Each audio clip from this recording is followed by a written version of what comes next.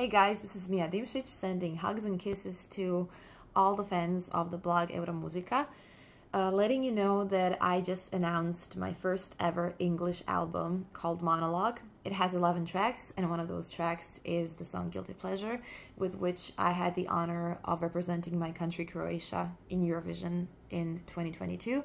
And Eurovision was also a big push and big inspiration for me to finish the entire album and be able to present it to you it has a lot of vulnerable and personal stories, and I would say that storytelling is definitely its biggest mark. There are songs about dreams I had, about past relationships, about, you know, um, meeting guys I fancied when I was 17 and asking them for their number. So, all kinds of random stuff, but just all about the relationships and love and how I think at the end of the day we're all very similar and we all go through similar emotions and I hope you will like the album. Be sure to let me know what you think and which are your favorites and I just want to thank you for your continuous support.